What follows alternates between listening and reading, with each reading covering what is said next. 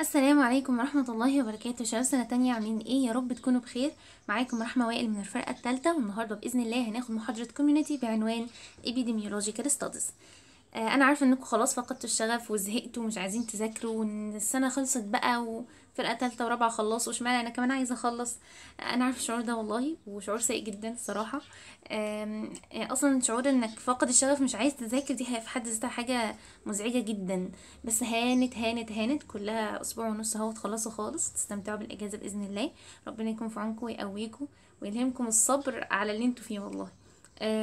يعني ما تحسوش إن الموضوع مأساوي قوي هو بإذن الله الموديل ده لطيف وظريف يعني خفيف يعني مش مش هياخد منكم مجهود كبير. آه كمان تقدروا تلموا فيه درجات كويسة. ف بس أهم حاجة أنتوا ما تستهونوش بيه. أنتوا ذاكروا زي ما بتذاكروا في العادي حاولوا تجاهدوا نفسكم وتذاكروا واحتسبوا ال- النية لله سبحانه وتعالى عشان تؤجروا على كل العذاب اللي أنتوا فيه ده. أنا مش عارفة أنا كده بهون عليكم ولا بصعبها عليكم أكتر بس والله ربنا يكون في عونكم بجد. آه، المحاضرة بتاعت النهارده لطيفة مش هنحس مش هنحس بالوقت فيها بإذن الله. آه، ال community يا شباب بشكل عام عشان بس تكونوا بتذاكروا كده على النور ال community بشكل عام ما بيتفهمش. وال community أنت بتعرف الفكرة العامة آه، وتقدر إنك عن طريق ال MCQ بقى فهمك لسؤال ال MCQ تقدر تحل. يعني مش زيه زي ال pharma مثلا أنت كل جملة أنت فاهمها وعارف الدواء ده بيعمل كده ليه ومين جاي فين ومين بيودي على إيه. لأ ال community عبارة عن رغي كتير وكله يؤدي نفس المعنى. فأنا مش هقعد أحفظ الرغي كتير. أنا هلقط المعنى اللي أنا المفروض آه، يعني أذاكره كويس أو أفهمه عشان لما يجيلي ال MCQ أقدر أحل تمام؟ حتى أسئلة ال community بتيجي بتيجي بالفهم مش مش بتيجي بنص الكلام يعني إلا في حاجات بسيطة زي تعريفات زي استخدامات حاجة كده. والحاجات دي هنقول عليها إن شاء الله في خلال المحاضرة. المحاضرة دي هي الثالثه أنا عارفة إن نزل بعدها محاضرات تانية بس ال data بتاعتها هي اللي اتأخرت ما نزلتش إلا أول امبارح بالليل فعمال إيه اتظبطت و... وعرفنا يعني إيه نظبطها عندنا كده عشان نقدر نشرحها بإذن الله.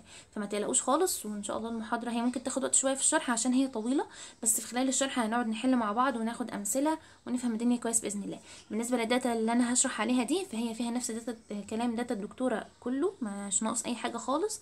فلو حبيتوا يعني تذاكروا منها آه، لو عايزين. تمام؟ بسم الله الرحمن الرحيم. نتوكل على الله ونبدأ بالراحة. إحنا بنتكلم عن ال epidemiological studies الدراسات الإبيديميولوجية. إيه بقى ال epidemiology دي. ال epidemiology دي كلمة آه، مشتقة من لفظ يعني آه، يوناني. زي ما إحنا متعودين معظم الحاجات اللي عندنا في الطب يونانية الأصل تمام؟ بتتقسم لكذا مقطع إيبي يعني أون أو أبون يعني على يعني تمام؟ وديموس يعني people ناس. ولوجس يعني study of. وبالتالي epidemiology هو دراسة ثانية واحدة هو دراسة على الناس. أنا بعمل epidemiology يعني أنا بعمل دراسات على الناس. تمام؟ حلو جدا. طيب آه عشان كده لما أجي أعمل تع... آه، أكتب تعريف لل epidemiology أو أعرف ال epidemiology السؤال ده ممكن يجي لي MCQ يجيب لي التعريف ويقول لي ده تعريف لإيه؟ ويجيب لي بقى epidemiology أو أي حاجة تانية من الحاجات دي فأنا هختار إيه؟ هختار epidemiology إيه بقى تعريف ال epidemiology بالراحة أنا عندي مجموعة من الناس. حلو قوي عايز أدرس عليهم ظاهرة صحية معينة. سواء دي كانت ظاهرة صحية حاجة يعني في المجتمع الصحي أو آه، ظاهرة مرضية إن في مرض معين. تمام؟ فأنا عندي مرض هدرسه. هدرس المرض ده على الناس دي. طب هدرس المرض ده من ناحية إيه؟ هدرسه من ناحية توزيعه distribution بتاعه وال determinants بتاعته ومحددات المرض. طب يعني إيه بقى هدرس المرض من ناحية توزيعه ومحدداته؟ توزيع المرض يعني إن أنا أعرف المرض ده بيجي في ناس سنهم مين؟ مثلا diabetes mellitus ممكن يجي في الناس مين؟ ممكن أكتر حاجة بيجي في كبار السن. ساعات بيجي في الأطفال لو كان هو autoimmune disease حلو قوي طب موجود فين المرض ده؟ موجود المرض ده مثلا بيجي أكتر في الدول الفقيرة. مثلا مثلا مع إن ال diabetes مش في الدول الفقيرة ولا حاجة. نفترض مرض تاني بيجي في الدول الفقيرة.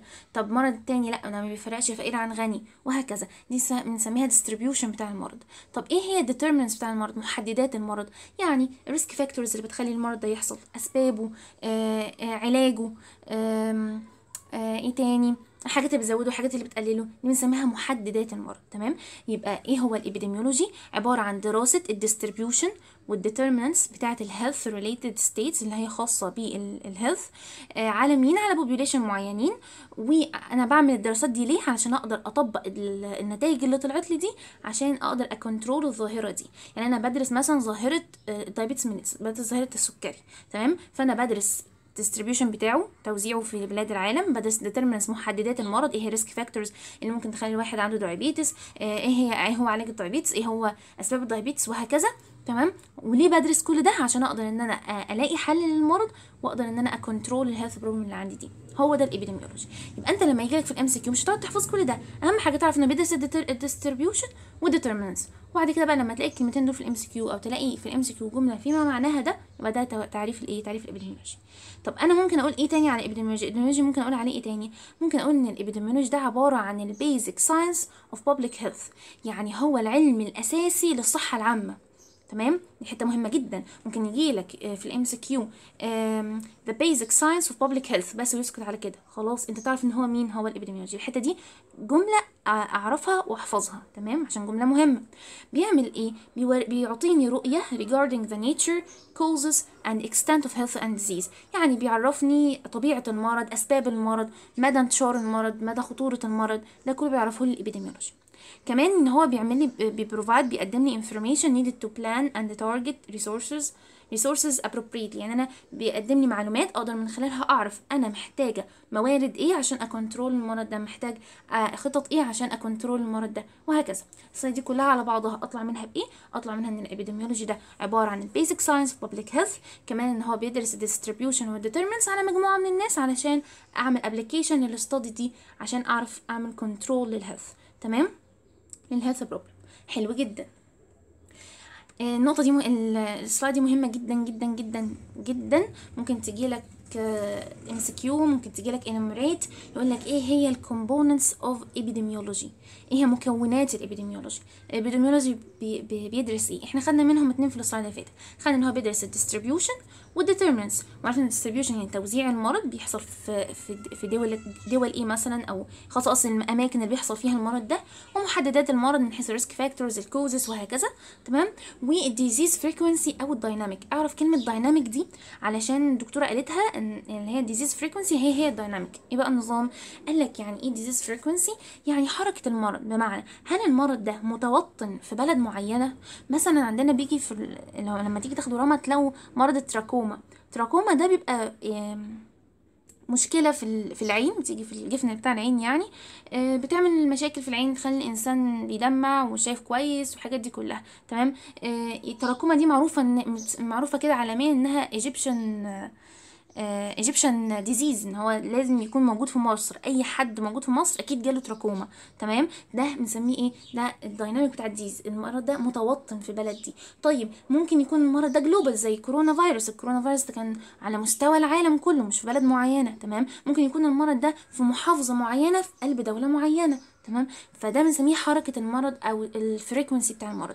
يبقى هي مكونات ال epidemiology ال disease frequency أو ال dynamic distribution توزيعه و determinants محدداته. تمام؟ التلاتة دي والحته دي مهمة جدا جدا جدا. جميل جدا.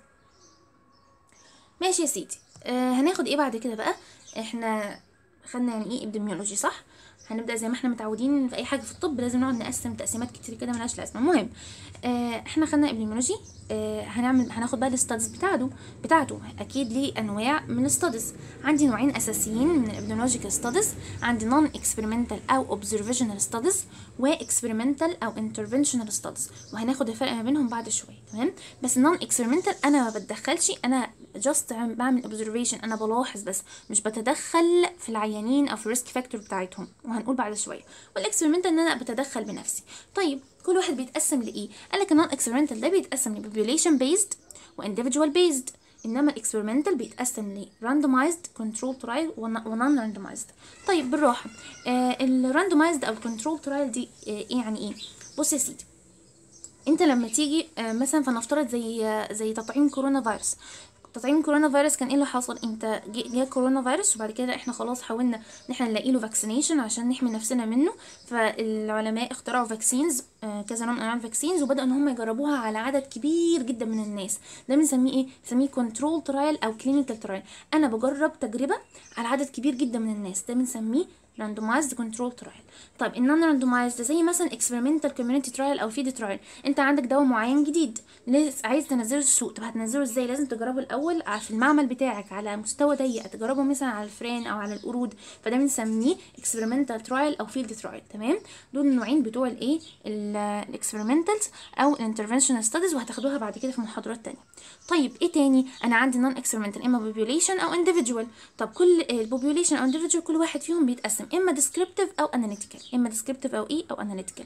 طيب ال descriptive ده منها نوعين case reports و case series وهناخدهم النهارده. وال analytical عندي ثلاث حاجات. أول حاجة cross section study أو case control study أو cohort study تمام؟ آه ال cross section study ليها اسم تاني اللي هو ال prevalence study ال case control study ليها اسم تاني هو ال case reference study وال cohort study ليها اسم تاني هو follow up study طبعا إحنا في ال module ده هتاخدوا كل الحاجات دي كلها. إحنا في المحاضرة هنا النهارده هناخد إيه؟ هناخد ال descriptive بالنوعين بتوعها وهناخد ال cross sectional وال case control تمام؟ تمام جدا. يعني ال slide دي أطلع منها بإيه؟ إن أنا عندي non-experimental و experimental هناخد النهارده من ال non-experimental descriptive وال analytical اتفقنا؟ اتفقنا. طيب يا سيدي هنا بيقارن لك مقارنه سريعة ما بين ال non-experimental studies وال experimental studies ال non-experimental زي ما أنا قلت. ال investigator أو الباحث not inter, intervene. ما بيتدخلش خالص. هو بيشوف بي بيشوف كده بعينيه بيلاحظ الناس اللي هو بيعمل عليهم الدراسة بيلاحظ سلوكهم بيلاحظ هل جالهم مرض إيه ما جالهمش مرض إيه طب دول كان عندهم risk factor إيه. just بيلاحظ بس ما بيدخلش في أي حاجة خالص. إنما ال experimental أنا ببدا أتدخل. أنا بعمل active trial أو change في disease determinant بغير أنا ال disease determinant بتاعي. بمعنى أنا جايب مجموعة من الناس هدرسهم فأنا بحطهم في وسط معين بعرضهم ل risk factor معين أو إن أنا بديهم دواء معين عشان أجربه عليهم. وبالتالي دي أنا بعمل كده إيه؟ أنا تدخلت. عملت experimental study حلو قوي طيب ال non experimental study قال لك ال investigator observes just بيلاحظ ال natural course بتاع ال event بيلاحظ السير الطبيعي الأحداث. هو فقط يلاحظ السير الطبيعي الأحداث. بيبص بعينيه يشوف الشخص ده كان بيتعرض ل risk factor معينة وبالتالي حصل له المرض المعين والشخص ده ما كانش بيتعرض وبالتالي ما حصلش المرض المعين وهكذا. إن هو بي بيتابع natural course of events observing who is exposed and who is not who is diseased and who is not uh, and is healthy. تمام؟ تمام. فقط بيلاحظ السير الطبيعي للأحداث. إنما ال experimental قالك ال investigator بي allocate the exposure and follow the subject بمعنى إن هو بيحدد التعرض وبيتابع. يعني أنا بحدد إن المجموعة من الناس دي هياخدوا دواء فلاني والمجموعة دول مش هياخدوا الدواء الفلاني. وببدا اتابع الحالتين أشوف اللي خد الدواء حصل لهم إيه واللي ما خدوش حصل لهم إيه. أنا كده تدخلت وحددت هم تعرضوا لإيه وأبدأ أتابع معاهم. تمام؟ طب عظيم. آه قال لك ال non experimental ده آه ممكن يكون descriptive و analytical زي ما خدنا المرة اللي فاتت. يبقى أنا بلاحظ وبصف أو بلاحظ وبحلل. تاني أنا بلاحظ وبصف بصف just بصف أو بلاحظ وبحلل اللي أنا لاحظته ده أبدأ أحلله. طب ده ممكن يكون سببه كذا أو ممكن يكون عشان كذا. تمام؟ ده نوعين بتوع ال non experimental تمام؟ طيب. إنما ال experimental قال لك ال participant are الناس المشاركين ببدا أقسمهم على حسب تعرضهم للحاجة اللي أنا حطيتهم عليها دي وأبدأ أ follow to determine whether they developed outcome ولا لأ. زي ما قلت لكم ناس تعرضوا لل expo لل risk factor أو تعرضوا للدواء ده وناس ما تعرضوش. وأبدأ أ follow up كل واحد حصل له إيه. تمام؟ يبقى لما أجي أطلع من ال slide دي هطلع بإيه؟ إن أنا عندي experimental و non experimental non experimental ما بتدخلش خالص. أنا just بلاحظ السير الطبيعي للأحداث وليه نوعين descriptive و analytical انما ال experimental أنا بتدخل بدي دواء بغير في ال في ال في ال environment اللي حوالين الناس. اللي بدرسهم وبحدد التعرض وبتابعهم تمام وابدأ أتابع كل واحد حصل له إيه على حسب اللي أنا عملته جميل جدا طيب ال slide دي برضو مهمة جدا جدا جدا جدا. آه ممكن تجيلك في MCQ ممكن تجيلك ترتيب. لو في ترتيب أكيد مفيش ترتيب. بس مهم يعني ترتيب الحاجات دي مهم قوي على حسب ترتيب الهرم زي ما مكتوب كده. اتفقنا؟ طيب أنا دلوقتي عندي epidemiological studies. آه وليها طبعا أنواع متعددة. طب أكيد في نوع أحسن من نوع ونوع أحسن من نوع وهكذا. ونوع مناسب لدراسات معينة ونوع مش مناسب. أنا بحدد ده على أساس إيه؟ بحدد ده على أساس ال hierarchy of epidemiological studies الهرم بتاع ال epidemiological studies بص يا سيدي من تحت خالص كده ده أقل واحد في ال quality بتاعة ال evidence تمام؟ وإحنا طالعين ال quality بتاعة ال evidence بتزيد. حلو جدا.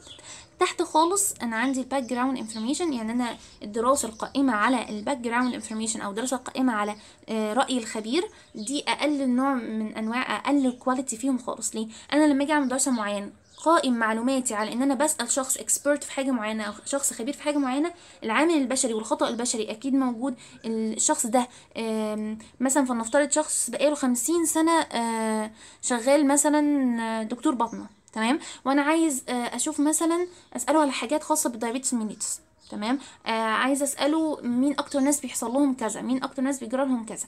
هو ممكن تكون معلوماته قديمة ممكن تكون معلوماته خاطئة يعني ممكن يكون هو يعني ما عندوش المعلومات الكافية فطالما في عامل بشري يبقى ده أقل حاجة إيه؟ أقل حاجة خالص في في الهرم. بعد كده هو ال case control studies وال case series وال case report وبعد كده ال cohort وبعد كده ال RCT اللي هو randomized controlled trial بعد كده critically appraised topics وبعد كده systemic reviews أكبر حاجة خالص. مهم جدا جدا أعرف الترتيب ومهم جدا جدا أعرف إن أحسن حاجة عندي هي systemic reviews وال critically appraised وأسوأ حاجة عندي هو الايه هو ال expert opinion. تمام؟ حلو جدا. طيب يا سيدي آه ركزوا كده معايا. آه أنا مش عارفة أنتوا خدتوها في في ال sections ولا لأ بس برضو عشان نعرفها هنعرف الفرق ما بين ال case control وهنعرف الفرق ما بين ال cohort وال cohort ليه نوعين prospective و retrospective. إيه بقى الفرق ما بينهم؟ بصوا يا شباب من ال observation studies عندي حاجة اسمها case control study إيه بقى موضوع ال case control study أو إيه أصلا ال case control study وال cohort study إيه فايدتهم؟ أنا يا جماعة دلوقتي عندي مرض معين. عايز أشوف آه، المرض ده هل هو مرتبط بتعرض ل risk factor معين ولا لأ؟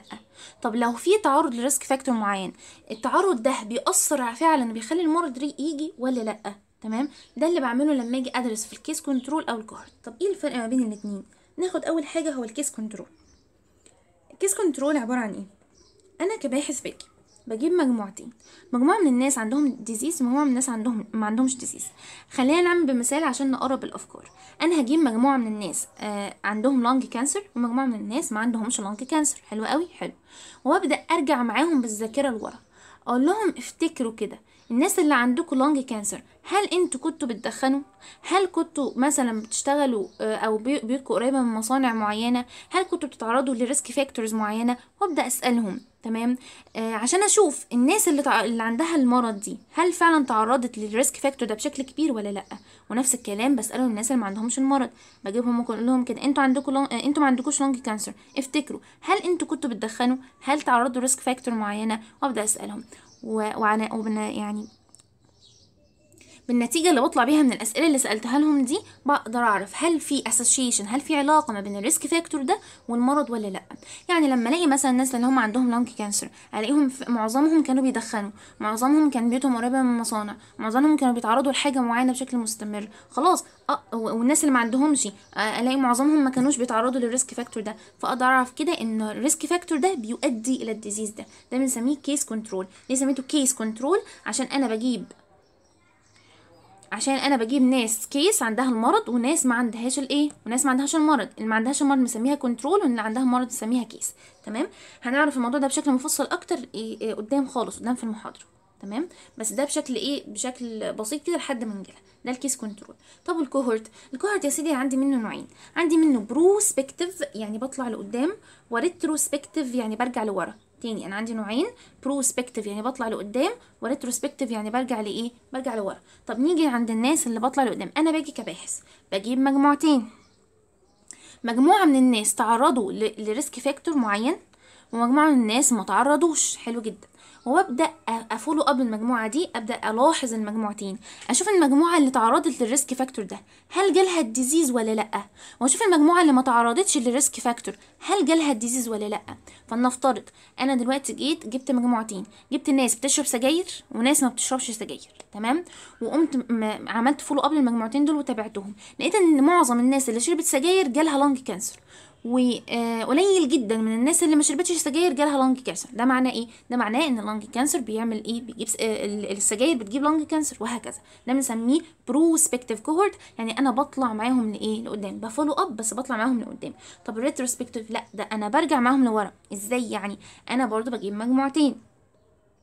مجموعة من الناس فلنفترض زي ما إحنا على المثال بتاعنا مجموعة من الناس بتشرب سجاير مجموعة من الناس مش بتشرب سجاير. تمام؟ وابدأ أجي وأجي خالص وأنا قدام كده. ببدأ أقول لهم هل أو أشوف هل الناس اللي بتشرب سجاير دي جالها ال lung cancer ولا لأ؟ طب هل الناس اللي بتشرب سجاير جالها lung cancer ولا لأ؟ فأنا كده عملت إيه؟ أنا كده تابعتهم ولكن من ورا أنا كده رجعت بيهم لورا. يعني شفت دول ناس exposed وناس not exposed. وبعدين شفت الناس ال exposed أنا متاكد إن هم exposed. شفتهم وقلت لهم ها جالهم شفت جالهم lung cancer ولا لأ؟ والناس ال not exposed جالهم lung cancer ولا لأ؟ قلت له يا رحمة طب إيه الفرق ما بينه وما بين ال case control لك لا ركز معايا. ال case control أنا كان عندي ال case control أنا عندي ناس ناس عندهم المرض وناس ما عندهمش المرض. وبعد كده ببدأ أرجع معاهم بالذاكرة لورا. هل أنتوا تعرضتوا لل risk factor ده ولا لأ؟ إنما ال cohort إيه؟ ال cohort أنا عندي ناس بيتعرضوا لل risk factor وناس مش بيتعرضوا لل risk factor. وأبدأ أرجع معاهم. هل جالهم المرض ولا لأ؟ في فرق من الاتنين. في فرق من إني أبدأ بناس عندهم المرض وإني أبدأ بناس آم، آه، وإني أبدأ بالناس ما عندهمش المرض. هم جاست لسه في مرحلة الإيه؟ لسه عندهم آه، عمل حصل لهم exposure لل risk factor. تمام؟ تمام. اتفقنا يا شباب؟ بصوا لو حد لسه مش فاهم حتة ال cohort وال case control كويس جدا إحنا في, في لما نطلع قدام شوية في المحاضرة هنشرح ال case control بالتفصيل وهناخد عليه أمثلة ونحل وال cohort برضه هتاخدوه في محاضرات تانية بالتفصيل هتاخدوا عليه أمثلة وتحلوا في ال sections هتاخدوا أمثلة وتحلوا. لو لسه الموضوع مش مفهوم كويس جدا هو طبيعي إنك من أول مرة كده تحس إنك مش فاهمه قوي. تمام؟ هيتكرر كتير قوي وهتاخدوا عليه أمثلة كتير قوي قوي قوي فما تقلقوش خالص. حلو؟ حلو. طيب نكمل زي ما إحنا. إحنا كنا اتفقنا ان إحنا ناخد إيه النهارده؟ إحنا اتفقنا ان إحنا ناخد ال descriptive وال analytical تمام؟ وال descriptive case reports و case series ماشي؟ طيب أول حاجة نبدأ بال descriptive ال descriptive studies آم، من اسمها آه، دراسات وصفية. أنا بصف. أنا بستخدمها عشان أعمل إيه؟ عشان آه، أعرف ال situation بتاع المرض ده. إيه ال problem عندي؟ إيه المشكلة اللي عندي؟ طب إيه ال manifestations بتاعتها؟ ده تعريف. أو ممكن أصف ال descriptive إن هو عبارة عن إيه؟ عبارة عن إن أنا بصف ال general characteristics بتاعت ال disease بصف الخصائص العامة بتاعت ال disease أو ال health problem in relation to إيه in relation to ثلاث حاجات time and place and person. بمعنى أنا بصف المرض ده من حيث ال person مين اللي جالهم المرض؟ وأكيد مين اللي جالهم المرض؟ مش معناها إن فلان الفلاني جاله المرض لأ. معناه مين الفئة من الناس اللي بيجيلها المرض؟ هل مثلا الناس الفقراء؟ هل مثلا الناس الأغنياء هل مثلا الناس اللي عايشة في الدول الم... آه، آه، هل مثلا الناس اللي سنها معين هل مثلا الناس الكبيرة الناس الصغيرة؟ ده ال person تمام؟ مين اللي بيجي لهم المرض طيب المرض ده بيجي فين بالظبط؟ بيجي في اي مكان؟ هل هو متوطن في دول في دولة معينة؟ أو هل هو global عالمي؟ ولا هو في محافظة معينة؟ ده ال place بصفه من حيث ال time هل هو بيجي في وقت معين؟ بمعنى هل بيجي مثلا مرض موسمي إن هو بيجي مثلا في الشتاء بيجي مثلا في الصيف؟ بيجي مثلا في, في, في وقت معين من السنة بيكون في حشرات معينة وهكذا. أنا لما باجي أوصف المرض بوصفه على أساس P P T أو ثلاثة أو ثلاث كلمات. ال person مين اللي بيجي لهم؟ place بيجي فين؟ و time بيجي إمتى؟ تمام؟ حلو جدا. ده ال descriptive epidemiological. آدي أهو بوصف من حيث ال place ال time ال وال person ماشي؟ who when and where. جميل. descriptive studies آه، زي ما اتفقنا هو case report و case control وهنعرف دلوقتي كل واحد بالتفصيل. ال case report بص يا سيدي أنا آه، هشتغل ال case report هشوف ال features بتاعته كده آخد مثال عليه بحيث إن أنا أطبق اللي خدته أول بأول. أول حاجة ال features بتاع ال case report إيه هي خصائص ال case report يقول لك ال case report ده بيتكون من careful and detailed report published in medical journals by one or more clinicians of unusual medical condition. بمعنى أنا ال case report ده عبارة عن إيه؟ هيجي لك case. هيقول لك هي هيقول لك كل التفاصيل كل التفاصيل عن العيان ده. Detailed report تقرير تفصيلي.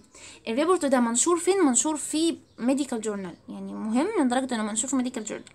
uh, by one or more clinicians يعني دكتور أو أكتر of unusual medical condition. يبقى اللي بيميز ال case report إن هو detailed report وليه unusual وبيتكلم عن unusual medical condition. medical condition unusual غريبة أول مرة يشوفوها نادرة مش بتيجي كتير. ده أول صفة ليه. تاني صفة إن ال case report ده بيديك مفتاح first clue in the identification of a new disease. بمعنى إن هو لما هو بما إنه مرض نادر أو بما إنه مرض جديد unusual فدراسته بتديك المفتاح الأولاني إنك تعمل identification أو تعرف المرض ده وتقدر تستكشفه وتدرسه. ماشي؟ طيب. كمان إن هو بيؤدي إلى formulation of a new hypothesis. أنا عندي مرض جديد فهبدأ إن أنا بقى أعمل له فرضيات hypothesis يعني فرضيات. أبدأ إن أنا أشوف طب المرض ده يكون بسبب إيه؟ طب إيه اللي بيعمله؟ طب ليه بيجي في الناس دول أكتر؟ وهكذا. يبقى مرض جديد عندي آه، خدت كل التفاصيل بتاع العيان بتاعه. أنا جالي عيان بمرض نادر غريب أول مرة أشوفه. فهكتب كل التفاصيل عنه عشان دي حاجة أول مرة أشوفها. بنشره في medical journal عشان دي حاجة جديدة. بيديني المفتاح الأولاني لل new disease عشان عشان أعمل identification لل new disease وأقدر أنا أعمل hypothesis ليه أو بفرض فرضيات ليه. حلو جدا جميل. طب إيه المثال بتاعنا اللي يوضح الكلام ده؟ قال لك ده أدي case أهي عندك. عشان لو جيب لك case وقال لك ده نوعها إيه تقول له دي case report اعرف منين قال لك عباره عندي intestinal obstruction was reported in a young child لقيت طفل صغير عنده انسداد في الامعاء آه المستندات ورتني ان child received 3 months ago um, a detailed report اهو detailed report about this unusual event and exposure was published in a medical journal ادي اول feature اتعملت The investigator formulated a hypothesis ادي ال feature دي اتعملت that rotavirus vaccine may have been responsible for the rare occurrence of this event. أنا كده اديت المفتاح اديت المفتاح لأن أنا أقدر أعمل identification لل disease ده أقدر أعرف مثلا ممكن يكون سببه إيه؟ ممكن يكون سببه rotavirus vaccine تمام؟ ده إيه؟ ده ال case report طب هو ممكن يجي يقول لي enumerate مثلا ال features بتاع ال case report ما أعتقدش. بس لو جت أنا عرفت أهو عندي ثلاث حاجات مهمة. أنا عندي تفصيل report تفصيلي بيتنشر في medical journal على unusual medical condition احفظوا معايا رددوا معايا عشان ما تاخدوش وقت في المذاكرة. تمام؟ طب يديني إيه؟ بيديني مفتاح عشان أعرف أ- أعمل identification لل new disease ده. وأقدر إن أنا عن طريقه ا formulate a new إيه hypothesis. دي ممكن تجيلي إيه؟ written زي ما اتفقنا. ماشي يا سيدي إيه بقى ال case series ده تاني نوع من أنواع ال descriptive خلصنا ال case report هنخش على ال case series يا سيدي ال case series ما هو إلا عبارة عن آه، كذا case report مع بعض. يعني case report كان بيبقى عبارة عن إيه؟ عن حالة واحدة بس آه، غريبة unusual. بدأت أدرسها كويس جدا وأعمل عليها details كتيرة جدا وأنشرها. ال case series عبارة عن سلسلة أو آه، مم، ممكن عليها سلسلة من الإيه من ال case reports تمام؟ عاملة زي القطر كده أدي case series ووراه إيه عندي سلسلة عب- بيتكون من سلسلة من ال case reports تمام؟ تمام. بيقول لك يا سيدي ان ال case series ده is the only study which depends on routine surveillance آه والحتة دي مهمة جدا ونحفظها كويس ونفهمها كويس عشان ممكن تجيلي true false أو ممكن تجيلي MCQ يقول لك إيه هو ال study اللي بيعتمد على ال routine surveillance أقول له ال case series طب إيه أصلا هو ال routine surveillance ده؟ بصي يا شباب اي حد آه، بيجي آه، في المستشفى أو بيجي يكشف في المستشفى يعني بيكون ليه ملف الملف المرضي بتاعه تمام؟ اي حد بيحب يحجز في المستشفى يعني بيكون ليه ملف المرضي بتاعه. أنا لما أجي اعمل دراسة معينة عن آه، مثلا مرض معين آه، وعايز أحصل على معلومات فأنا بتبع ال routine surveillance اللي هو surveillance التقصي التقصي الروتيني. أبدأ أشوف في الفايلات بتاع المستشفى أتقصى عن الشخص ده كان في الأول حصل له إيه وبعد كده راح فين وبعد كده جاله إيه. ده بنسميه routine surveillance وده طبيعي علشان أنا عندي case ال case series دي. عبارة عن كذا report آه، كذا case report مع بعض وبالتالي أنا هبدأ لما أجي أشوف كل report على بعضها فأنا ببدأ أحصل على المعلومات بتاعتي من ال من ال routine surveillance من التقصي بتاعي من الملفات الموجودة عنده في المستشفى. تمام؟ آه، أدي مثال أهو بيقول لك during 1950 8 cases of cancer lung were admitted to different hospitals during the same period of time. آه، عندي جالي 8 حالات 8 حالات يعني هي كده أكتر من فرد كده أكتر من حالة. كلهم جم في نفس الوقت عندهم إيه؟ عندهم cancer lung.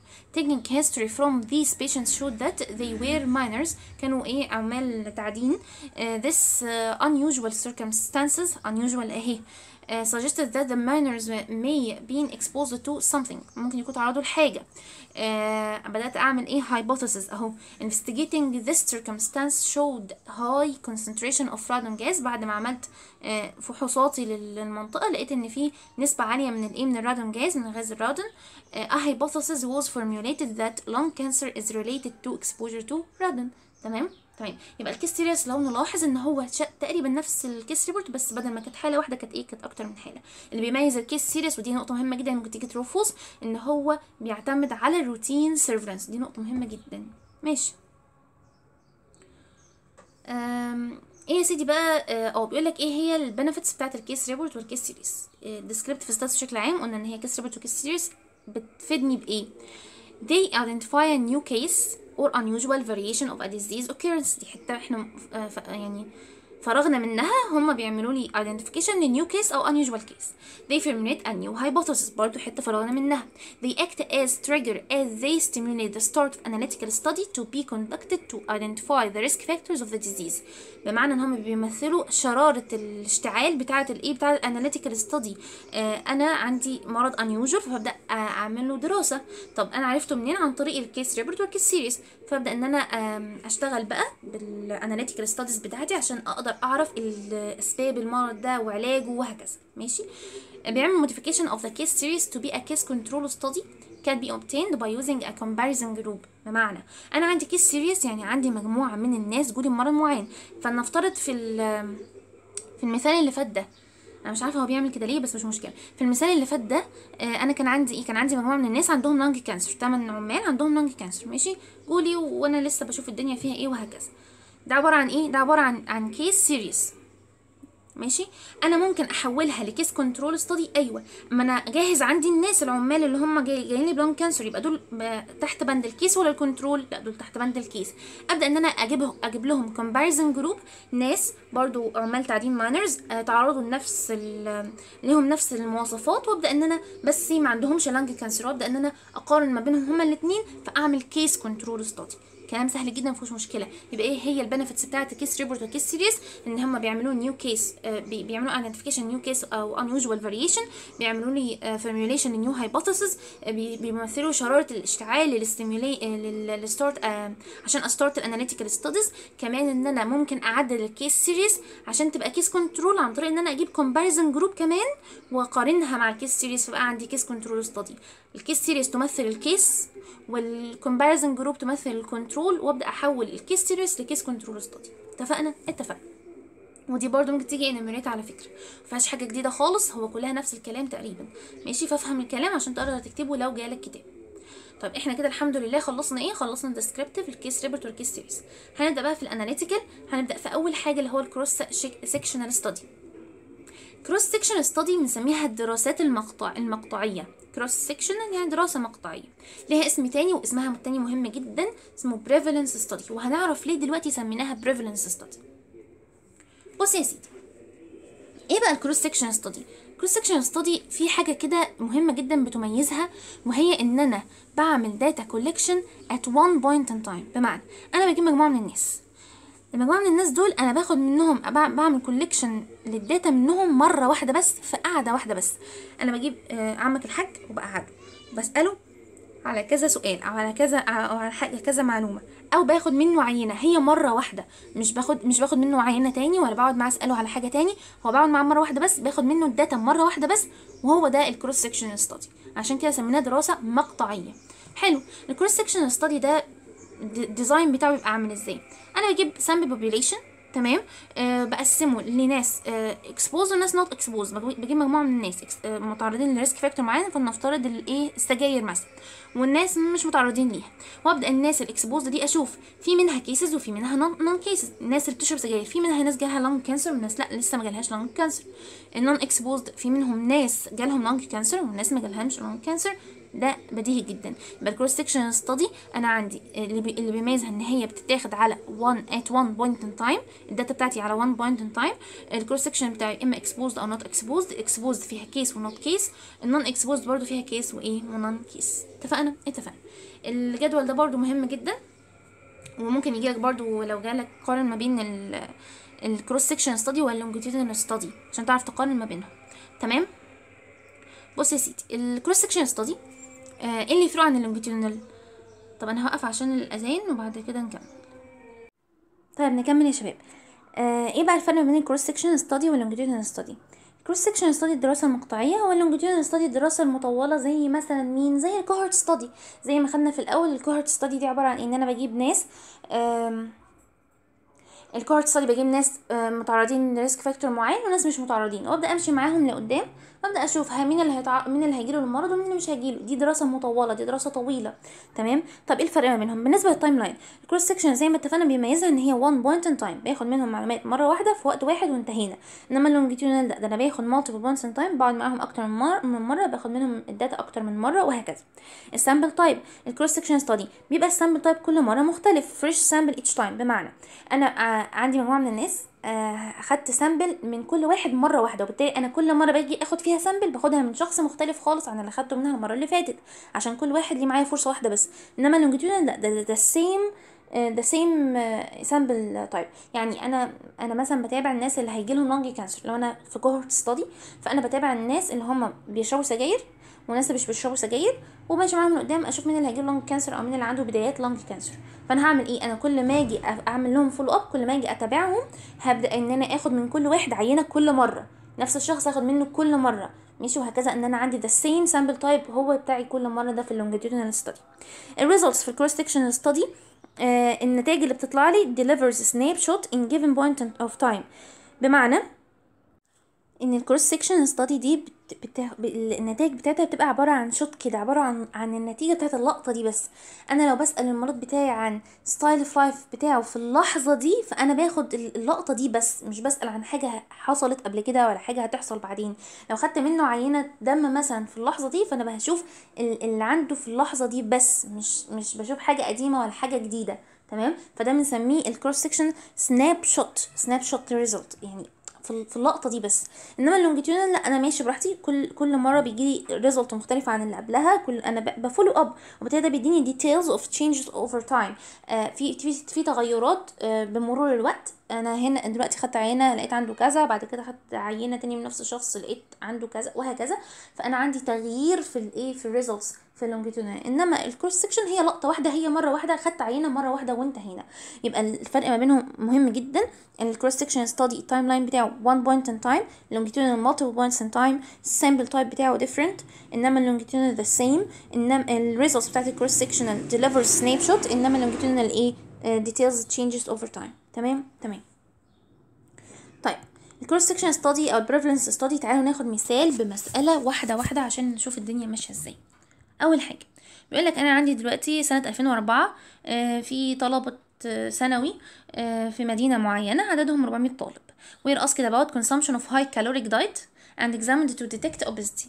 يبقى أنا دلوقتي بعمل إيه؟ أنا عايز أسألهم على الإيه إن هم بياكلوا high caloric caloric diet وبشوف مين فيهم عنده obesity ومين ما جالوش obesity تمام؟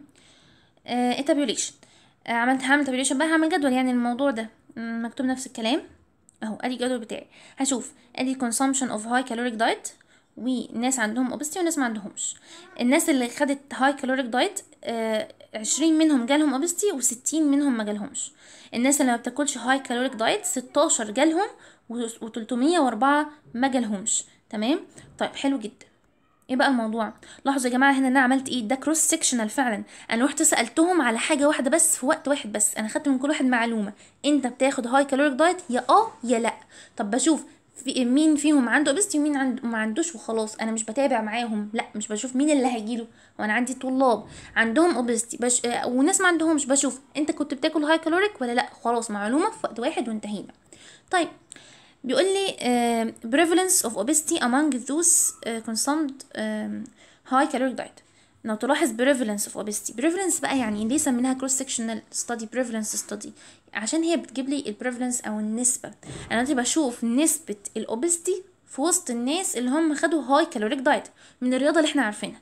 الناس اللي جالهم obesity من كل الناس اللي خدوا high caloric diet يبقى هعمل إيه؟ عشرين على 80 على كل الناس اللي اللي, كانوا high caloric diet في 100 20 على 80 في المية جات لي نسبة الناس اللي عندهم obesity من الناس اللي خدت high caloric diet في 25 في المية. طيب prevalence of obesity among those don't consume high caloric diet.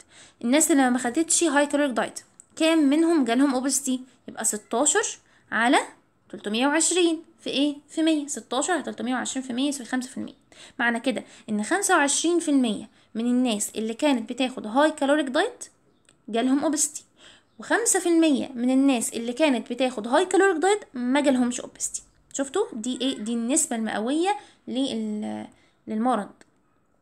طب ال prevalence rate المعدل بقى بتاعنا؟ المعدل.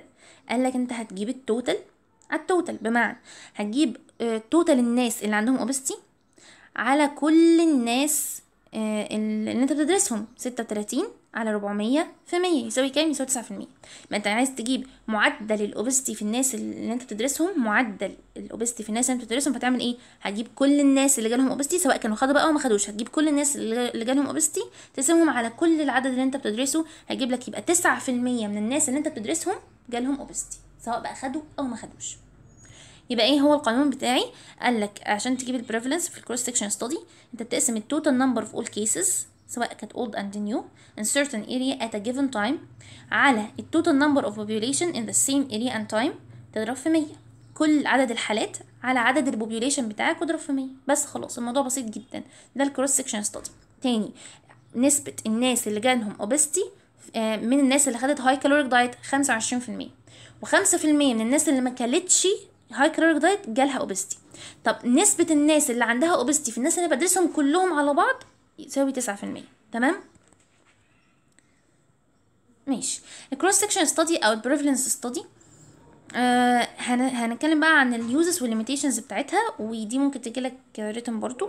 ال uses وال limitations بالراحة. أول حاجة أنا بستخدم ال cross section study في إيه؟ بستخدمها عشان أعمل estimation لل prevalence rate of disease ده اللي إحنا لسه قايلينه. هي أصلا اسمها prevalence study وبالتالي بستخدمها عشان أشوف النسبة آه أو معدل آه الناس اللي جالهم ال disease ده. معدل الناس اللي جالهم obesity معدل الناس اللي جالهم مثلا cancer وهكذا. ده ال cross section study or any health um, it leads to formulation of hypothesis. دي حتة مهمة برضو جدا عشان لما يجي يقولك في ال MCQ مين هي الدراسات اللي بتخليني أعمل formulation لل hypothesis أنا لحد دلوقتي خدت مين؟ خدت ال case series وخدت ال case report وخدت ال cross sectional كمان دول كلهم بيعملوا formulation لل hypothesis بعد كده it's suitable for chronic diseases with long latency.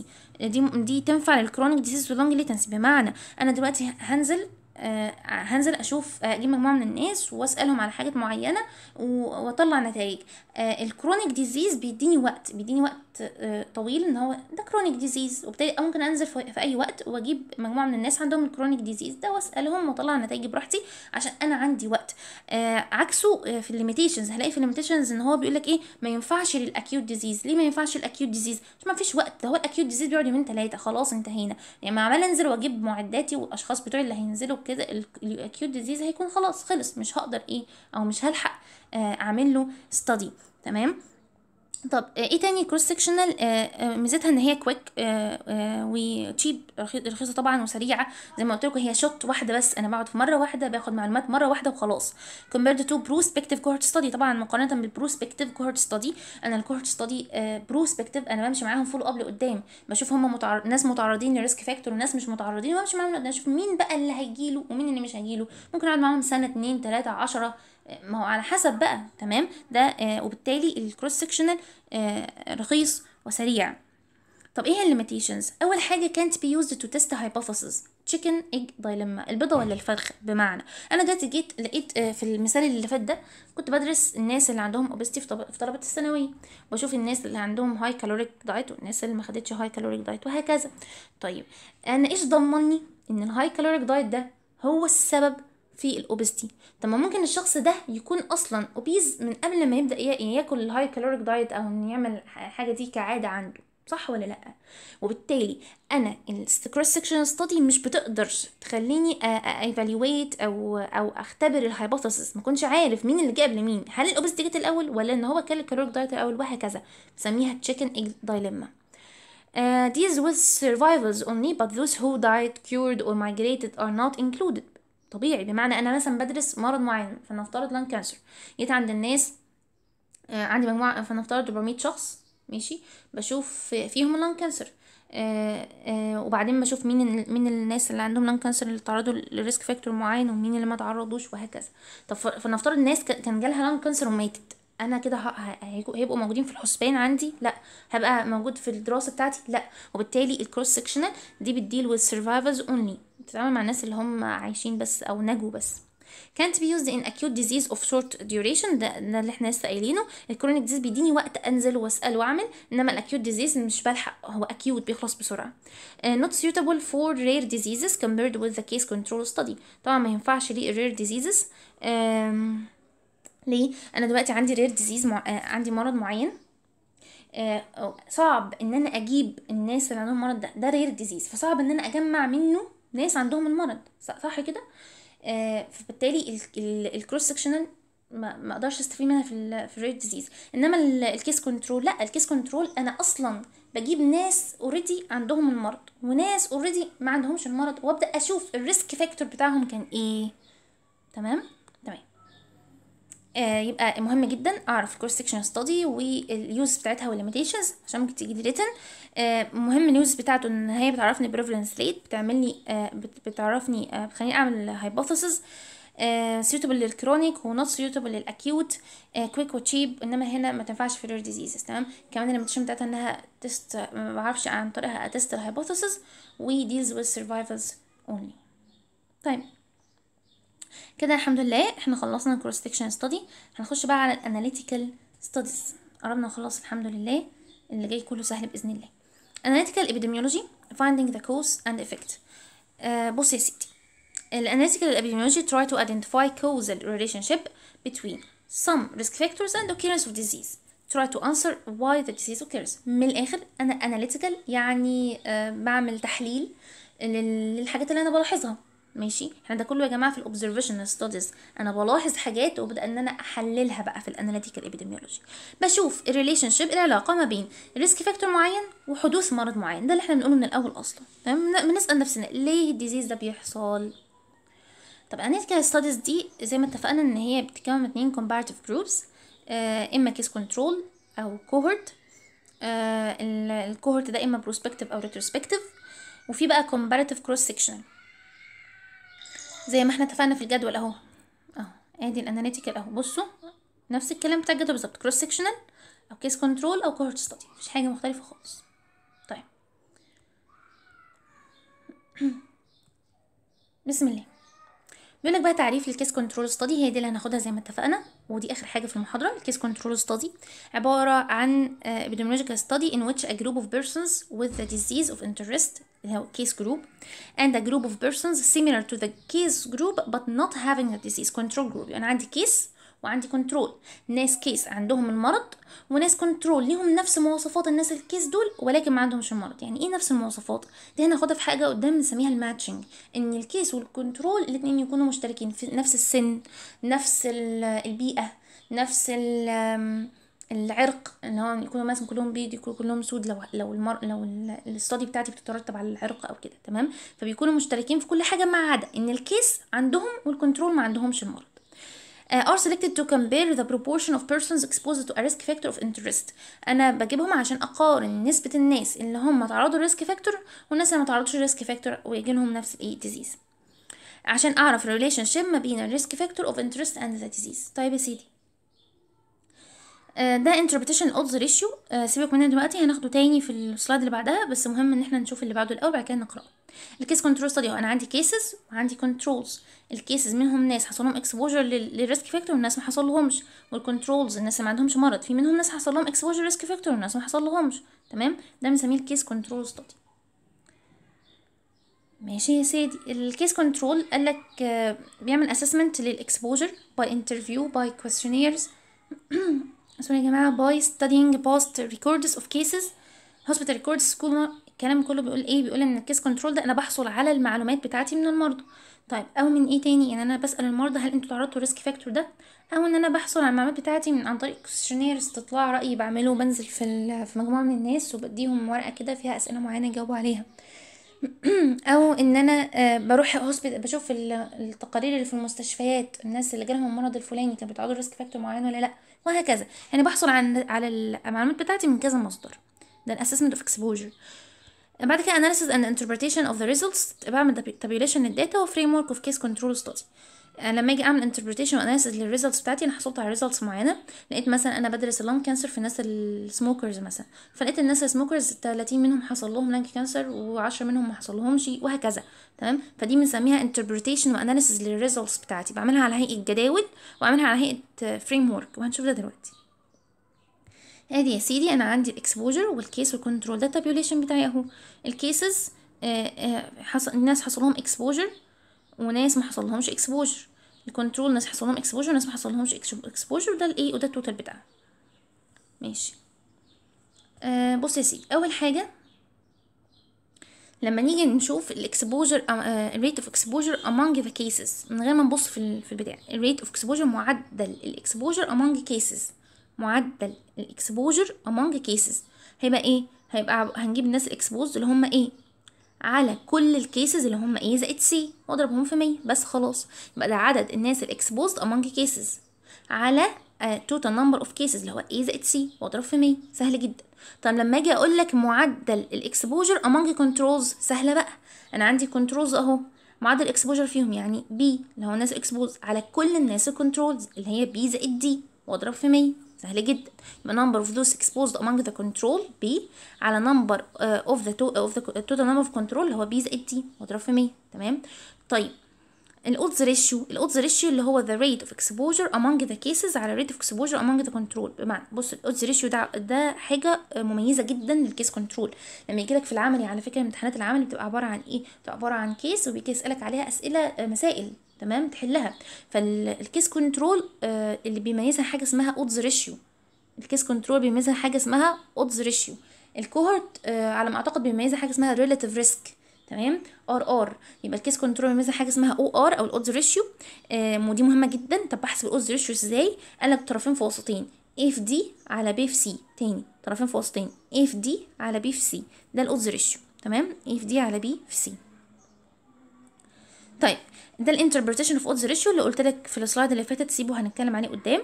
ال interpretation of odds ratio لما أجي أعمل تفسير ال odds ratio أنا جبت مثلا نسبة ال odds ratio في الناس في الناس اللي كانت في مرض معين تساوي ستة مثلا. فنفترض هناخد مثال دلوقتي. طب أنا ال- ال- الرقم ده يعني لي إيه؟ أو ال interpretation بتاعه تفسيره إيه عندي؟ أول حاجة لو كان ال odds ratio يساوي واحد ده معناه إن ال exposure is not related to the disease. يعني معنى كده إن ال exposure among cases على ال exposure among controls يساوي واحد. معنى كده إن القيمتين قد بعض. معنى كده إن ال exposure ملوش علاقة بال disease ما أثرش. ما خل... ما ما, خلا... ما خلاليش ال disease يحصل. مش بسبب ال disease حصل. طب لو لقيت ال odds ratio أكبر من واحد ده positive ده positive association معناها إن ال exposure is associated with increased risk of disease. بمعنى لو هو أكبر من واحد معنى كده إن البسط أكبر من المقام معنى كده إن ال exposure among cases أكبر من ال exposure among controls. وبالتالي ال exposure في ال cases هو اللي خلى الناس اللي عندهم المرض يجي لهم المرض. فده معناه positive association. طب ال odds ratio لو كان أقل من واحد ده معناه negative association. إن ال exposure is associated with uh, with a lower risk of disease.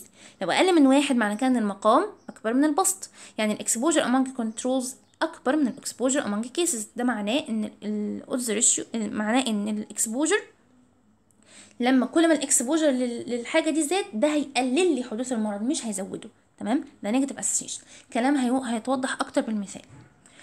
طيب قبل ما نعمل ناخد المثال هناخد ال benefits وال limitations كده هناخد الايه المسألة. طيب إيه هي مميزات ال case control study كل المميزات اللي أنا هقولها دي أنتوا عارفينها وفاهمينها جدا جدا. just هتتكتب على إيه؟ نقاط بس.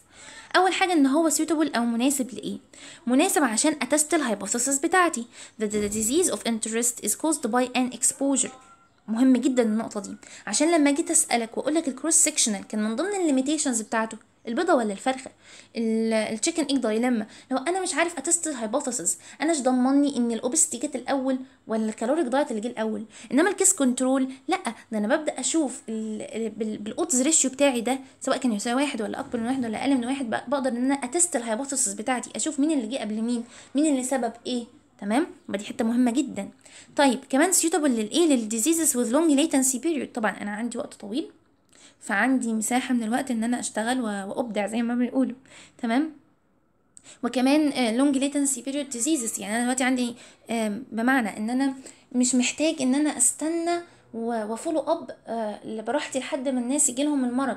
لأ أنا جايب ناس جاهزين أصلا عندهم المرض أنا مش محتاج أستنى وقت طويل مش محتاج إن أنا آخد وقت طويل. فهو دلوقتي جالي مريض. عنده long latency period disease يعني disease مش بيحصل إلا بعد مدة طويلة. disease مش بيجي إلا بعد سنوات طويلة.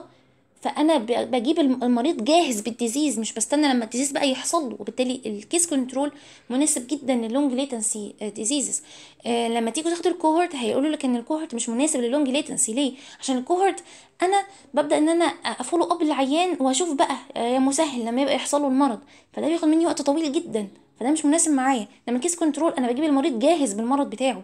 بجيبه بعد ما عدى سنوات طويلة وبعد كده جاله المرض فتعالى لي بقى وأنت جاهز. تمام؟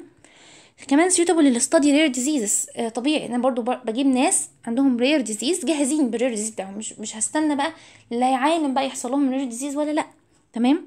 يبقى هو suitable لتلات حاجات إن أنا ب test ال hypothesis بيخرجني من ال egg chicken dilemma أو chicken egg dilemma for disease with long latency period مناسب ليها كويس جدا ولل rare diseases على عكس ال cohort يا شباب. طيب كمان هو easy و rapid و cheap easy و rapid cheap ليه؟ أنا بقعد مع العيانين وبسألهم وخلاص وباخد منهم معلومات بشوف ال past history مش محتاج أكتر من كده. وبالتالي هو سهل وسريع مش بياخد مني وقت وكمان رخيص مش مش مش بحتاج وقت طويل وبالتالي مش بحتاج أصرف فلوس كتير. طيب آه، طبعا compared لل prospective cohort few subjects. بح- بحتاج إن أنا آه، آه، يعني ناس متطوعين أقل وناس هدرس عليهم مرة ناس هدرس عليهم أقل. بحتاج ناس قليلين مش بحتاج ناس كتير. can examine multiple exposure factors for a single disease. يعني أنا مثلا عندي مرض معين مرض واحد فلنفترض الناس عندهم lung cancer.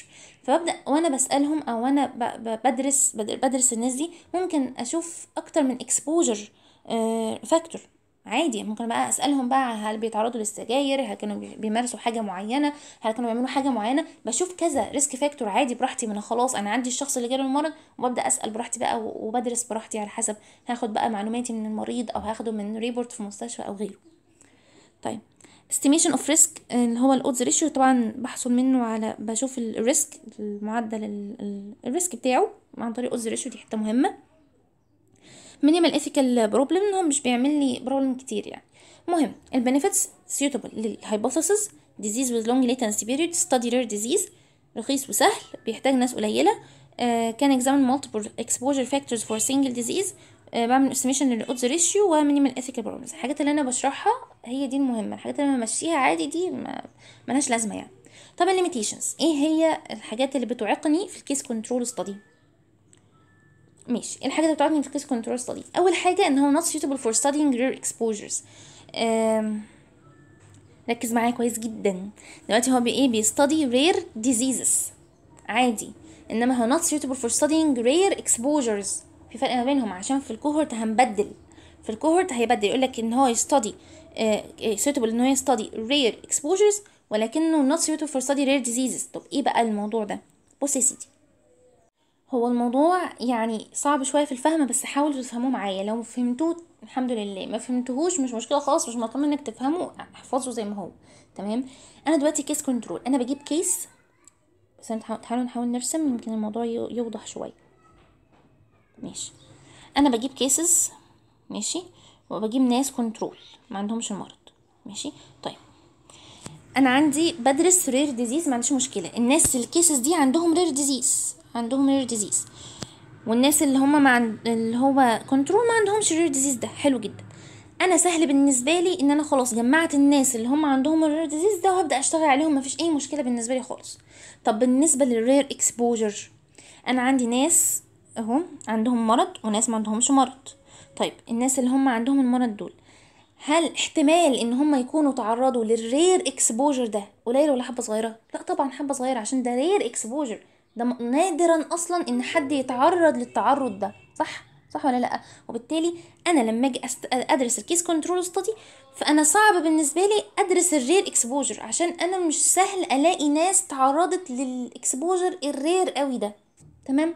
رب يكون فهمت يبقى تاني ناس بدرسهم rare disease عادي. ليه عادي؟ خلاص هم حصل لهم المرض مفيش مشكلة خلاص فيهم. طيب الناس اللي عندهم آه rare اللي هم عايز أدرس rare exposure لا مش عادي عشان أنا مش سهل ألاقي ناس تعرضت لل exposure rare قوي ده. اتفقنا؟ اتفقنا. طيب بعد كده بيقول لك إيه بقى؟ إن هو not suitable for rare exposures. كمان إن هو بيعمل لي آه مشكلة ال bias إيه بقى مشكلة ال bias دي؟ يعني إيه bias أصلا؟ bias يا شباب عبارة عن error عبارة عن آه خطأ ده بيؤثر على نتيجة ال study بتاعتي. يبقى ال bias عبارة عن خطأ بي بيؤثر على نتيجة ال study بتاعتي.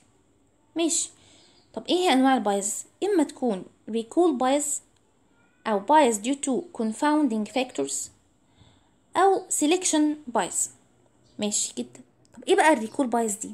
واحدة واحدة هنفهم كل واحدة فيهم بالراحة. recall bias أو interview problems. بص يا سيدي أنا دلوقتي زي ما قلت لك لما أجي أدرس case control فبجيب ال cases وبجيب ال control وببدا أسأل كل واحد فيهم تعرضوا ل risk factors معينة ولا لأ. معروف وطبيعي إن ذاكرة الإنسان بتسقط حاجات في حاجات بتتنسي في حاجات بتحصل معاك وبتنساها بتاخد أدوية معينة وبتنسى إنك خدتها بتاخد بيحصل لك حاجات معينة وبتنسى إنها حصلت. ده بنسميه recall bias مشاكل في بسبب ذاكرة الإنسان ما أقدرش أعتمد عليها 100% فممكن أسأل ناس أنتوا تعرضتوا لل risk factor معين ده؟ خدتوا الدواء المعين ده ولا لأ؟ في ناس تف- تفتكر إنها خدته وناس تكون خدته بس ناسيه إنها خدته تقول لي لأ ما خدتوش. وده يأثر على إيه؟ على النتيجة بتاعتي. تعال نقرأ المثال. People with disease may remember exposures differently more or less accurately th- than those without disease. حلو جدا. Example بتاعي. A case control study of heart malformations in newborn. جميل جدا. أطفال لسه مولودين عندهم مشاكل في القلب. آه هجيب case group in mothers of infants with defect. هجيب اللي هم ال case group اللي هم الأمهات اللي, اطفالهم عندهم heart malformation. وال control group أمهات عند أطفالهم normal ما عندهمش مشكلة. Both groups are asked about medications used uh, during pregnancy. هسأل كل أم. آه في ال case وفي ال control انت خدتي أدوية إيه وانت حامل؟ طبيعي طبيعي ان mothers of infants with defects will have already spent hours thinking about what what have or what might have caused the defect what is something I, I took كل ام هتبدا انها تسال نفسها أنا خدت إيه وأنا حامل ممكن تكون خدت دواء ناسيه انها خدته أو مش مش فاكره أو ما تتوقعش ان هو ده اللي فما تقولش عليه تمام ده بنسميه recall bias ماشي طيب قال لك note حتة كده if the groups have the same percent of errors based on faulty memory uh, that's non um, differential misclassification هو أنا الحتة دي صراحة يا شباب أنا مش فاهماها كويس أو مش, مش عارفة موقعها إيه من الإعراب بس على حسب ما فهمت إن بيقولك لو ال groups عندها نفس النسبة من ال errors نتيجه ال recall bias ماشي؟ فخلاص كده يعتبر إن مفيش فرق ما بين ال groups عندي في ال في, ال في النتائج يعني من الاتنين عندهم نفس النسبة في الخطأ تمام؟ وجهة نظري الكلمة الحتة دي ملهاش أي لازمة خالص تمام؟ هو فكرة ال recall bias إنك تعرف تفهم معناها بس مش مطلوب منك أكتر من كده. عظيم. طب إيه بقى ال selection bias ال selection bias إنك اخترت بشكل خاطئ أو في مشاكل في اختيار الناس بتوعك. A type of bias or error when researchers choose who is included in a study. في في خطأ في ال researchers وهم بيختاروا الناس اللي هم هيدرسوهم. Results can't be applied to the population. وبالتالي أنا لما يكون عندي خطأ في اختياري الناس اللي هدرسهم سواء مثلا اخترت الناس اللي هدرسهم دول المجموعتين مش متشابهين في العوامل اللي اتفقنا عليها في في مشكلة أنا اخترت أفضلت فضلت في اختياري مجموعة عن الأخرى فده عمل لي مشاكل في ال results بتاعتي. ما أقدرش إن أنا أعمل ما أقدرش أعمل ال results دي application على ال population بتوعي.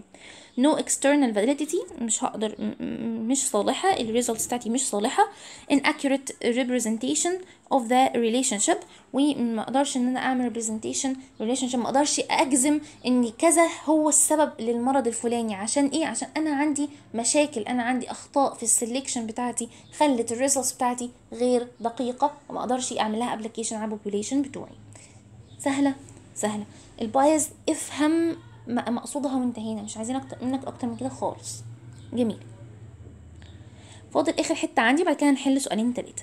matching إيه بقى ال matching في ال case control study زي ما اتفقنا ال matching ده إن أنا بجيب المجموعتين لازم يكونوا شبه بعض في كل حاجة إلا حاجة واحدة. إن المجموعة دي عندها المرض والمجموعة دي لأ. بس خلاص هو دي ال slides concern that cases and controls may differ in characteristics or exposures other than that uh, observed in the study. To overcome this problem we can match cases and controls in regard to potential factors of, of concern لازم اعمل matching ما بين الاثنين في الحتت المهمه اللي المفروض لو ما حصلش matching ما بينهم هتاثر على النتيجه بتاعتي فلازم كلهم يكونوا لازم المجموعتين يكون في matching ما بينهم في كل حاجة Matching selects controls that are similar to cases in characteristics such as age, race, sex, socioeconomic status, occupation وهكذا تمام أعرف إيه من ال slide دي كلها عشان ما تعبش نفسي في الحفظ أعرف ال matching إن أنا أخلي المجموعتين شبه بعض في كل حاجة خاصة الايدج الريس السكس السوشيو ايكونوميك ستاتس والاوكيبيشن اتفقنا يا سيدي؟ طيب. ال advantages وال disadvantages نفس الكلام مش أي حاجة جديدة خالص. أنا بس حطيت ال slide تاني علشان الدكتور حطها تاني يعني. ال advantages بتاعت ال case control inexpensive يعني cheap رخيص not time consuming مش بتاخد وقت quick suitable for rare diseases زي ما اتفقنا في حتة ال rare diseases وال rare exposure هي suitable rare diseases inefficient في rare exposure تمام نخلي بالنا suitable for diseases with long latent period زي ما قلنا can examine multiple etiologic factors for a single disease at same time برضو قلناها no drop out problem يعني إيه no drop out problem بص إحنا لما أجي لما تيجي تاخدوا ال cohort study هتعرفوا ان أنا لما أجي اعمل follow up للعيانين فانا بعمل follow up ف... فبستمر بقى بشوف الناس اللي بتتعرض risk factor ده يحصل لهم إيه والناس دي يحصل لهم إيه. في وأنا ماشي في ناس بتموت مني صح؟ في ناس بت... بترضاش تكمل ال study معايا صح؟ ما أنا بمشي بقى شهور سنين بقى على حسب ما الدراسة تاخد معايا. وبالتالي في حاجة اسمها drop out problem مشكلة ال drop out السقطات اللي بتسقط مني دي. ال case control ما بيبقاش فيها مشكلة ال drop out دي. ليه؟ ما أنا بقعد مع العيان خلاص أنا جبت الناس بعد ما حصل لهم المشكلة وبقعد بقى أشوف بقى بنرجع بالذاكرة لورا. مش بيبقى فيه لا drop out ولا حاجة مش بيبقى فيه follow up أصلا عشان يحصل ال drop out ده. طيب cannot calculate incidence uh, disadvantages لا مؤاخذة يا جماعة. disadvantages relationship between exposure and disease difficult to establish. ال- العلاقة ما بين ال exposure disease difficult to establish. بمعنى uh, ممكن يكون ال بص هقولك. ممكن إن أنا ما أقدرش آه يعني في الآخر في آخر ال stuff ممكن ما أقدرش ألاحظ برضو كويس إيه المشكلة بالظبط إيه ال risk factor اللي عمل ال disease ده. ممكن العيانين اللي, ب... اللي بعمل عليهم دول يكونوا اتعرضوا risk factors كتير قوي وما كنتش عارف أني واحد في risk factors دول اللي عمل لي المشكلة تمام؟ آه طبعا inefficient exposure cannot calculate incidence آه ما أقدرش إن أنا ا calculate ال incidence بتاعها آه selective and recall bias زي ما اتفقنا يبقى فيه recall bias و selective إيه bias. حلو جدا. يبقى دي ال case control study خلصناها. آه فاضل إيه فيها تاني؟ آه ال examples بتاعتنا بقى. هناخد example كمثال وخلاص. بسم الله. هن- هنراجع يا جماعة في الآخر. هنراجع على كل المحاضرة في الآخر وأقول لكم إيه المهم تركزوا عليه. أنا investigator selected 200 patient with basal cell carcinoma نركز بقى في الحتة دي عشان هو ده الامتحان. سؤال الامتحان بي العملي بيجي كده يا جماعة. عندي investigator selected 200 patient with basal cell carcinoma admitted to hospital during the year 2004 عندي 200 subjects free from the disease as a control from general population. أنا عندي الكيس عندي مين؟ 200 والكنترول 200 حلو قوي both groups were interviewed to obtain information on history of exposure to sun rays. Those with history of exposure were 120 among cases and 40 among the control. 120 من من ال من ال من الناس ال من ال cases تعرضوا لل sun rays و40 من ال control تعرضوا ليها.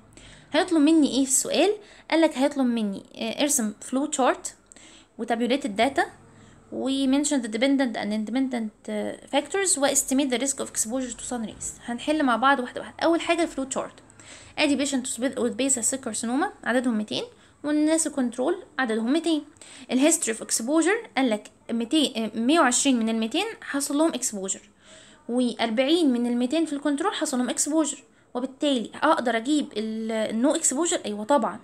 هطرح بقى 120 أم، اطرحها من 200 هيفضل لك 80 ما حصلهمش exposure وهنا 160 ما حصلهمش exposure هو ده ال flow chart بتاعك.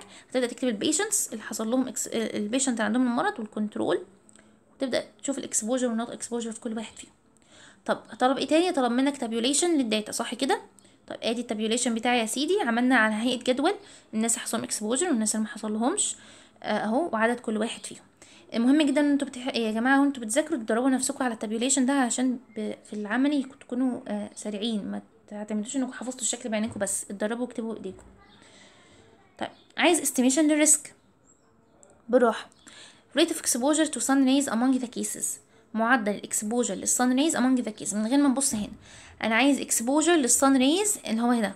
Among the cases يبقى 120 على كل ال cases اللي هم 200 واضرب في 100 يساوي 60% يعني 60% من الناس اللي عندهم المرض تعرضوا لل sun rays طيب. Rate of exposure to sun rays among control. آه، معدل الناس ال- اللي, حص... اللي تعرضوا لل sun rays among control. يبقى هنا ادي ال control أهم. الناس تعرضوا لل sun rays 40 على كل ال control 200 هيبقى 20 يبقى 20% من الناس ال control تعرضوا لل sun rays طيب دلوقتي أنا عايز أشوف آه، آه، أعمل estimation لل risk ده أشوف الموضوع إيه هل ال sun rays فعلا بتعمل basal cell carcinoma ولا إيه؟ طيب أنا لما أجي أجيب ال odds ratio هبقى هقسم ال rate of exposure على ال sun rays على ال rate of exposure على ال among على ال بالراحة ال rate of exposure بتاع ال cases على ال control هيبقى 60 على 20 يبقى كده ال odds ratio أكتر من واحد. يبقى كده إيه؟ يبقى كده ال exposure بتاع ال sun rays عمل لي disease فعلا. أو ممكن حاجة تانية. بيقولك بما إن الستين أكبر من العشرين يعني المعدل exposure لل sun rays أكبر من في ال cases أكبر من معدل exposure لل sun rays في ال control ده معناه إن في association between ال basal cell carcinoma وال exposure to sun rays ماشي؟ طيب لما يجي يقول لك بقى هات ال odds ratio يا معلم. تقول لي ال odds ratio سهلة. قلنا طرفين في وسطين. A في D على B في C. 120 في 160 على 40 في 80 هيساوي 6 طب اعمل interpretation ال odds ratio ده ده معناه إيه يعني؟ قال لك معناه ممكن تقوله بثلاث طرق. ممكن تقول إن ال expo those exposed to sun rays are six times at risk to have basal cell carcinoma than those not exposed. الناس اللي هم تعرضوا لل sun rays عندهم risk أكتر إن يجيلهم basal cell carcinoma بست مرات عن الناس العاديين. أو الناس اللي هم عندهم basal cell carcinoma tended to be exposed ممكن يعني ميالين أكتر ان هم يكونوا تعرضوا لل sun rays ست مرات greater than those without basal carcinoma طيب ممكن تقول إيه تاني Uh, it's six times more likely to find history of exposure to sun rays among patients with basal carcinoma than among those free from basal carcinoma. أي صيغة من التلاتة دول ينفعوا. من الآخر الناس اللي عندهم المرض تعرضوا للصن ريز ست مرات أكتر من الناس اللي ما تعرضوش وهكذا. طيب exercise 1 ادي الاسئله بدات اهي. Description of 35 patients with thyroid cancer are regarding past history of exposure to radiation and response to surgical treatment بالراحة. هو هنا طالب إيه يا جماعة عشان تكونوا عارفين بس في ال exercise طالب نوع ال نوع ال study بتاعتي. ماشي؟ بالراحة. Description. ما دام description يبقى خلاص أنا في descriptive. مين في ال descriptive عندي؟ اتنين. مين هما ال case series وال case control طب ال case إيه اللي بقوله ده ال case series وال case report تمام؟ ال case report بتبقى حالة واحدة ال case series أكتر من حالة. شفتوا؟ إحنا تقريبا حليت البتاع أهو. description ال 35 عيان. 35 عيان يعني أكتر من حالة يبقى ده case series طب نركز تاني. وال thyroid cancer or regarding past history of exposure to radiation and response to surgical treatment. نوعها إيه؟ case series ليه؟ عرفت منين؟ description يبقى أفكر في case series أو case report أكتر من عيان يبقى ده case حلو قوي exercise 2 patients admitted for uh, uterine prolapse with age and social class matched with fellow patients without prolapse and surv uh, surveyed as to chronic constipation history to assess the possible association of chronic constipation and uterine prolapse ما دام قال possible association ما بين ال constipation uterine prolapse أنا عايز أشوف الاسوسيشن يبقى ده إيه يبقى ده كيس كنترول ليه برضو كيس كنترول ليه ما قلتش كوهورت عشان قال لك أنا عندي مجموعتين. ناس عندهم without prolapse وناس عندهم chronic إيه؟ chronic constipation. حلو قوي يبقى ده كيس كنترول ستادي ماشي. تسعة وتلاتين year old man who presents with mild sore throat شخص عنده تسعة وتلاتين سنة ركزوا في الكلام هو شخص واحد تمام؟ uh, عنده fever و malaise و headache treated with penicillin بيحكي لك قصة حياته هو بقى for presumed streptococcal infection he returned after a week with hypotension, fever and abdominal pain. A diagnosis, diagnosis of uh, Rocky Mountain spotted fever was made and he responded good to بص ما لو ما دام لقيته بيحكي لك قصة حياة الشخص كده وهو شخص واحد يبقى ده عبارة عن إيه؟ عبارة عن report تفصيل دقيق عن حالة الشخص. آخر حاجة بيقول لك uh, an oncologist determined that 75 out of 100 randomly selected leukemia patients had uh, exposure to ionizing radiation while 16 out of 100 randomly selected healthy individuals who did not differ from patient with respect to age or sex had experienced exposure to ionizing radiation فكروا كده وقفوا وقفوا الفيديو فكروا بالراحه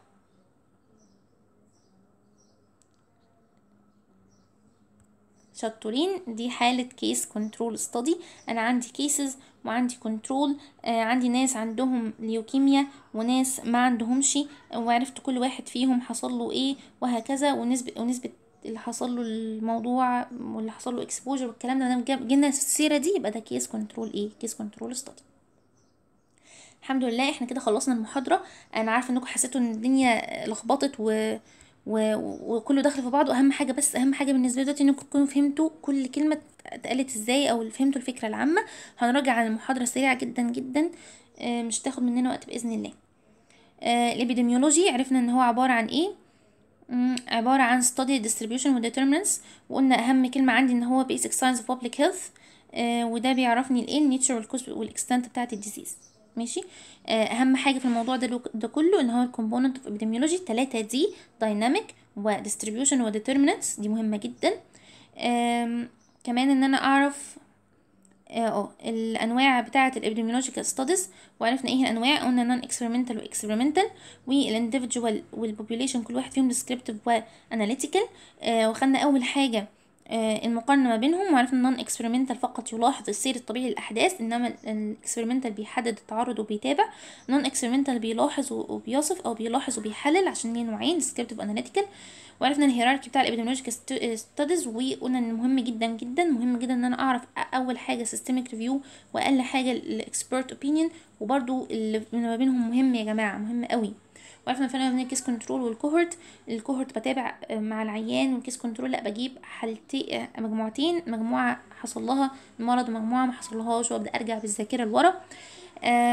descriptive epidemiological studies قلنا إن هي بتصف الديزيز بتلاتة بي البليس والبيرسون والتايم آه بعد كده ال case reports وقلنا إن هي ليها ثلاثة features مهمين جدا بيبقى فيه تفصيل دقيق للموضوع. بتديني ال first clue عشان أعمل identification لل new disease واعمل بتديني new hypothesis ودي حتة مهمة جدا. بعد كده ال case series عبارة عن case report جنب بعضها وفي حتة مهمة جدا إن هي بتتبع ال routine surveillance آه وعرفنا ال example بتاعها.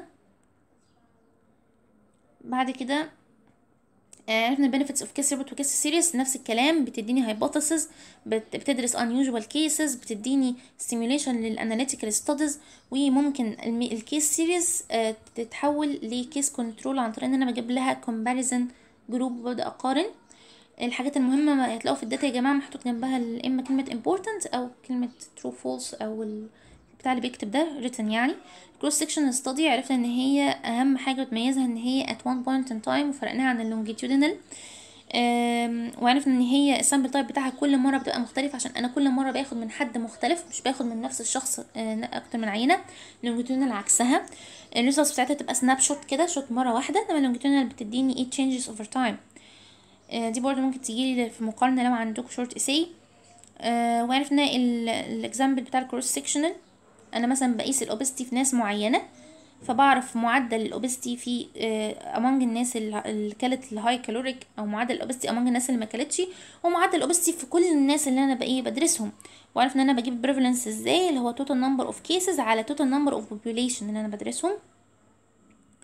ال cross section study عرفنا استخداماتها وال limitations بتاعتها ودي برضو مهمة. بتعرفني ال prevalence rate وبتعمل لي hypothesis و آه، بتبقى suitable chronic diseases ورخيصة والكلام ده. مشكلة فيها ومهمه جدا البيضة ولا الفرخه دي حتة مهمة جدا can't be can't be used in test hypothesis. بتعمل بس مع ناس survivals و can't be used in acute diseases ومبتنفعش في rare diseases. آه ال analytical بقى وقلنا إن هي case control و cohort وهكذا وال comparative cross sectional وعرفنا ال case control وعرفنا إيه الفرق ما بينها وما بين ال cohort أنتوا برضو هتاخدوا ال cohort بعدين ال case control ان أنا عندي ناس case وناس control وابدأ اقارن ما بينهم من حيث exposure و not exposure الكلمة اللي بتميز ال analytical studies إن أنا بعرف الايه بعرف ال association تمام؟ بعد كده عرفنا آه، إزاي نجيب ال rate of exposure among the cases و rate of exposure among controls أهم حاجة في الك- في ال case control يا جماعة هو ال odds ratio وأعرف إزاي اعمل له interpretation. ال odds ratio لو بيساوي واحد يبقى ال exposure is not related. لو أكتر من الواحد آه، يبقى ال exposure positive لو أقل من الواحد يبقى ال exposure negative وأعرف إزاي ال odds ratio طرفين في وسطين زي ما هنشوف دلوقتي أهو. في ال في ال في, ال في الآخر هنلاقي إن ال odds ratio طرفين في وسطين. آه ال benefits بتاع ال case control إنها ب test ال hypothesis على عكس ال cross sectional كانت البيضه ولا الفرخه for disease with long latency و study rare diseases easy ورخيصة. ممكن أدرس أكتر من exposure factor إنما limitations not suitable لل rare exposures وعرفنا الفرق بين ال rare exposure وال rare diseases يا رب تكون اتفهمت. آه، وفي مشاكل ال bias وعرفنا أنواع ال bias إما recall أو confounding factors أو selection bias. آه، بس وعرفنا بقى ال recall bias إن أنا عندي مشكلة في استرجاع المعلومات. زي زي المثال بتاع الأم والإيه والطفل اللي عنده heart malformation وال selection bias أنا عندي مشكلة في اختياراتي للأشخاص. مفيش matching ما بينهم مثلا. طب إيه هو ال matching إن أنا لازم يكون المجموعتين اللي أنا بدرسهم مشتركين في الصفات بتاعتهم مع بعض. إلا حاجة واحدة إن دول ناس case ودول ناس control بس ال advantage disadvantages قلناها مفيش حاجة جديدة إلا drop out ان ال case control مفيهاش drop out وفهمنا يعني إيه drop out إن مفيش حد منهم بيموت ومفيش حد منهم بي بيسقط مني عشان أنا ببساطة مش بعمل follow up أنا باخد منهم المعلومات وبمشي. طيب. وعرفنا ال example بتاعتنا وعرفنا إزاي ال flow chart بتتعمل آه وعملنا tabulation الناس اللي هم ال exposed والناس اللي هم not exposed آه وعرفنا ال rate of exposure وال rate of سن ريز وعرفنا ان ال odds ratio طرفين في وسطين AD على BC طلع مثلا بستة فأنا بعمل له interpretation بفسره بإن أنا أقول الناس مثلا اللي هم exposed ست مرات إن يجي لهم ال BCC أكتر من الناس ال not exposed اختار لك أي صيغة الأسهل بالنسبة لك قولها. بس وال exercise دي مهمة جدا يا شباب عشان ممكن تيجي في الامتحان جدا آه عشان دي موجودة عندكم في ال data يعني مش أنا اللي جايباها من من بره. آه وإلى هنا أيها السادات والسادة نكون انتهينا من المحاضرة بتاعتنا اسف على الإطالة هي المحاضره فعلا طويلة. آه يا رب أكون عرفت أوصل لكم المعلومات عشان آه أنا كرحمة شايفة إن ال community ده ماده بتتفهمش أصلا مادة غريبة كده هلامية. فحاولوا تفهموا على قد ما تقدروا واللي ما تفهموهوش عدوه. عدوه والله مش هيجرى حاجة عدوه هتلاقوا نفسكم بتعرفوا تحلوا برضو. بس أهم حاجة الحاجات اللي إحنا ركزنا عليها ك enumeration أو كده تخلوا بالكم منها عشان لو جبت كتابة. بس إنما غير كده افهم الفكرة وعدي افهم الفكرة وعدي. مش لازم كل كلمة تفهم معناها إيه وتحفظها وكده خالص بالعكس. حلو الأسئلة إن شاء الله اللي هتنزل مع مع المحاضرة. ولو في أي مشكلة واي استفسار أو أي حاجة في form ال feedback أو ابعته على رسائل ال page ويا ريت برضه تقولوا لنا رأيكم في المحاضرة ال feedback عشان دي أول مرة أشرح community فمش عارفة الدنيا عندي عاملة إزاي. شكرا ليكم. أنا أسف على الإطالة. مع السلامة.